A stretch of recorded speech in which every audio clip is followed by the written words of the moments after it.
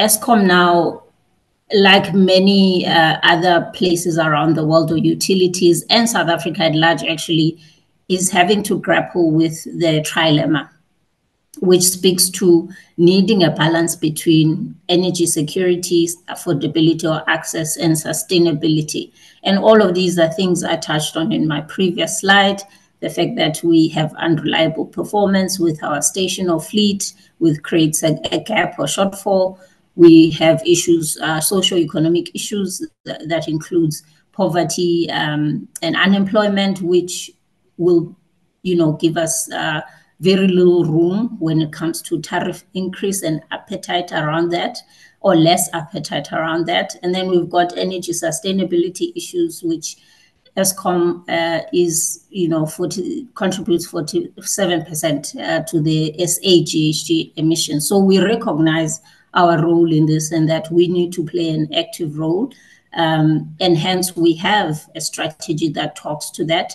But what we want to highlight here is that as a developing country, we will need to have some difficult trade offs that need to be made to ensure security and affordability in the short term. So there's also some risks that we've had to, um, you know, unpack as, as Eskom, and some of them uh, have realized uh, that we had to really rethink our approach, uh, and it has led us or necessitated a need for for the transition uh, transition as a result, or at least us uh, being very clear what our plan would be to respond accordingly to these risks.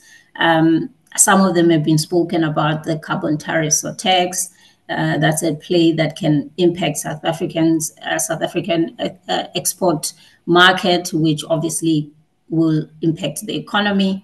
Uh, some of our large power users uh, are looking into decarbonizes, decarbonizing the, the systems and moving to RE power.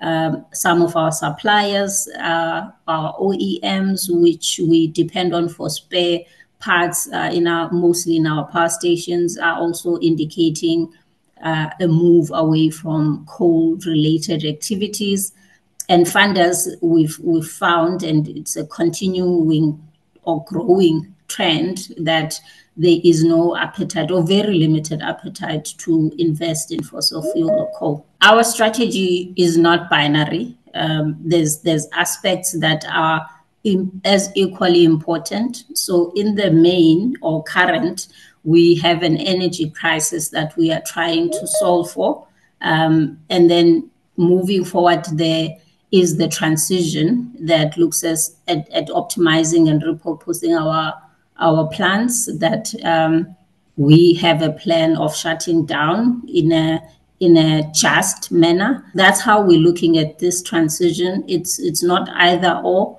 but really trying to find you know that optimal or sweet spot to try and accommodate uh, the needs of SA and what is the art of the possible for, for Eskom, considering the context that we find ourselves uh, we find ourselves in, which is mainly the, the trilemma issues.